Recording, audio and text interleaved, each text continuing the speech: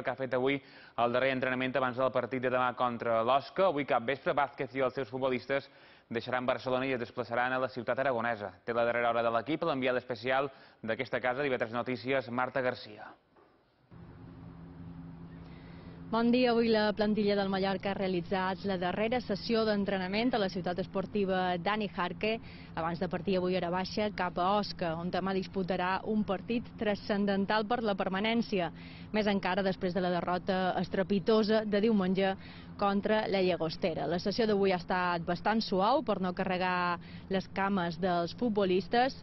El tècnic ha decidit treballar l'estratègia, un dels punts febles d'aquest equip i a més Fernando Vázquez ha incidit també en la feina del mitjapunta. L'ensurt avui l'ha protagonitzat Javier Acuña, el jugador s'ha queixat d'unes molèsties al turmell dret, el tècnic ens ha explicat que té molèsties al tendó, veurem si arriba temps per al partit de demà, en qualsevol cas Ortuño ha aprofitat per, després de la sessió, practicar de cara a porteria. Això sí, baix l'atenta mirada de Fernando Vázquez. La pregunta avui és si tres dies basten per canviar l'equip, per eh, sortir a jugar de manera diferent de com es va fer diumenge contra la Llagostera, el tècnic està convençut que demà el seu equip sortirà a mossegar.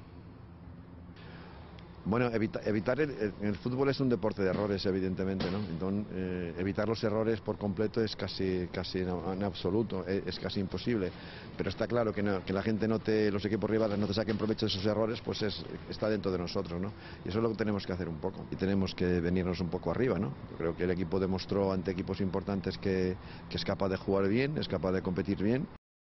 Fernando Vázquez no s'amaga, el tècnic ha parlat ben clar, és conscient del que s'està jugant l'equip ara mateix, que es troben en posicions de descens i que han de deixar la pressió a un costat perquè en el partit de demà contra l'Osca hi ha en joc molt més que 3 punts. Eh, evidentemente el, Huesca está en una, en una dinámica muy positiva, ¿no? viene de ganar en Valladolid, de ganar al Alcorcón, dos equipos muy complicados y por lo tanto para ellos también es una final, es una, es una un partido de, de, salvación y por lo tanto va a ser un partido súper complicado para nosotros. Eh, muy difícil. Eh, tenemos que estar muy altos de, de energía, muy altos de, de, competitividad para poder afrontarlo con, con ciertas garantías. ¿no? Pero yo confío en mi equipo. Yo sé de lo que somos capaces de hacer cuando estamos bien, cuando estamos muy metidos y eso lo vamos a hacer mañana también. Una de les imatges del dia, però, l'ha protagonitzat un jugador de l'Espanyol, ja que el mallorquí Marco Asensio s'ha atracat fins a l'entrenament del Mallorca i just quan ha finalitzat ha aprofitat, juntament amb Gerard Moreno, també jugador ex-mallorquinista, per saludar alguns membres del club, també Jesús Cabrero, que encara es trobava sobre la gespa. En aquests moments, els jugadors del Mallorca es troben descansant al seu hotel, de, després de l'entrenament han partit a dinar, estan descansant i aproximadament a les 5 de l'hora baixa eh, posaran rumb cap a Osca en autocar per disputar demà, com dèiem, el transcendental partit per la permanència, el segon dels tres partits que jugaran en només 8 dies.